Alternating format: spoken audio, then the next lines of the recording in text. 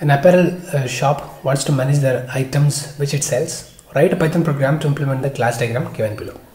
So apparel is being a base class and cotton and silk are two classes which inherits apparel, the class apparel. Apparel has item ID, price, item type and it has a counter, static variable. It's a public counter and using constructor we initialize price item type. Uh, item ID is automatically must be generated using counter value. Then we have calculate price is the method. Uh, apart from this, get item ID, get price, get item type are the getters. Set item set price is a mutator setter. Cotton has an attribute discount. Silk has an attribute points. Here we uh, initialize price and discount. Here we initialize price alone. So we have method calculate price, overridden method calculate price. Here also overridden method calculate price. Here we have method names get points and here it is a get discount. It is a getter. So let's look at one. Look at one by one, and uh, we'll start from apparel and manage one by one. Look at the business rules.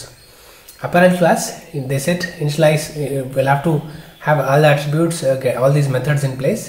Then when when we work on the methods, initialize static variable counter to 100 in the constructor auto generate item id starting from 101 and we need our prefix 0 c for cotton apparels and s for silk apparels example like this uh, c101 s101 etc calculate price add 5% service tax on the price of the apparel and update attribute price with a new value. So it is simple. So we take all the attributes counter the static variable public and uh, we are starting to initialize to 100 and uh, id should start with 101 so that is why we take item i type. Item type that's a parameter we take it from them because they have given it very clearly that it has item type. So item type should be a silk or cotton. So we take first letter that is why we take the slicing if it is silk item type will have silk we take item type of 0 means we take only s like this we take then apparel counter is converted to string and appended, to this so item id become S101 or C101. We have a getter, get price, set price and all that. Then uh, get item type, everything is there, calculate price. Simple. So you need to apply 5% uh, tax for the apparel.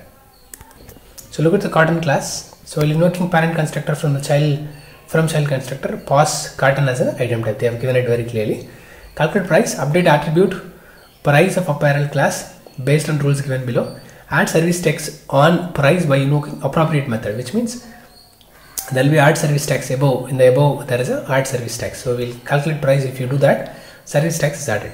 Then we'll have to apply discount on price. Then we need to add 5% VAT on final price since we inherit we'll have to use uh, class name in a uh, base class name cotton of a parent. so we call out uh, parent class constructor we pass price and cotton as a uh, as a as a value to the uh, to initialize parent class constructor. So we have an additional attribute named as discount that is getting initialized within this constructor. So get discount is simply a getter. Calculate price before we, we calculate uh, we calculate price of parent class method. So that is why we use a super function. Using super function we call parent class method calculate price. So they have clearly mentioned uh, add service tax on, on price by invoking appropriate method of apparel class. So it means uh, apparel class has a, a, cotton has appropriate method of apparel class. So apparel is the parent class, so it has a method named as calculate price.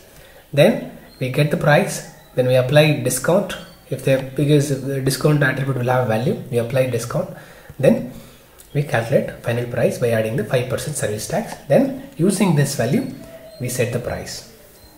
Price is in a parent class. It is a private attribute. Look at this. It is a private attribute. We need to use we cannot directly access them. We need to use setter for that. That is why we set the price. Silk apparel while invoking parent constructor from child constructor pass silk as item type calculate price update attribute price of apparel class based on rules given below add service tax on price by invoking appropriate method of apparel classes. We'll have to do the same. Super of calculate price. Uh, identify points earned based on rules given below. Silk apparels with price more than 10,000 earn 10 points. Anything less than or equal to that earn 3 points. Initialize attributes points uh, with identified points add 10% VAT on the price. Perform case sensitive string comparison. again it's the same. So we initialize points. After that initialize is a 0 then we call parent class constructor. Anything is fine. You can do uh, this or that. Uh, then what we do we have a getter get points. That's fine. Then calculate price. We calculate we call the parent class method apparent class method. Then we calculate price here. So we get the price. Then we check if the price is greater than 10000 then point set to 10 otherwise point set to 0 then the new price is test. After adding 10% service tax. 10% VAT.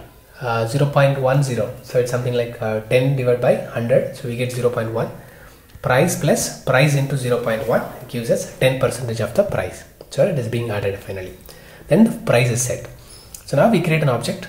C1 is equal to cotton of we pass a value and then we call out uh, calculate price. After calling out calculate price then we, we simply print it. You can try with uh, yes silk also you can create an object and see how this works. If you run this you'll get the output like this. After adding uh, since it is a cotton uh, cotton means parent class constructor is called. Then uh, price uh, we add discount. Whatever discount uh, they say um, you know that is being calculated. So discount here it is 2% is the discount. Right? So verify this all the test cases are passed